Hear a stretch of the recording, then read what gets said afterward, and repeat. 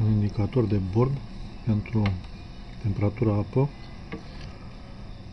și tensiune baterie.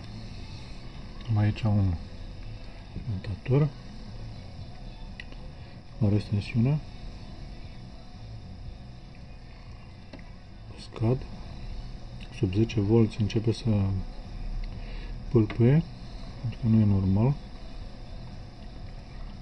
Deci, baterie sub 10 V deja e descărcată.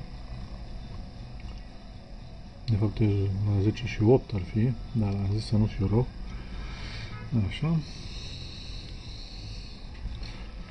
Aici e senzorul care trebuie să fie montat în, în recipientul cu apă.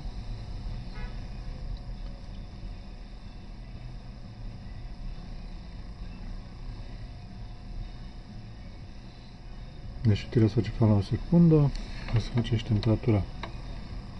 Tensiunea pe baterie mai mică.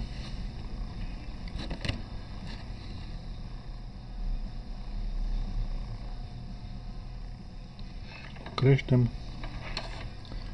Facem ca și cum ar încărca bine.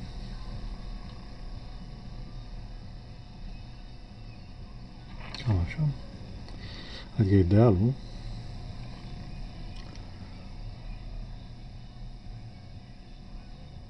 Deci cam așa.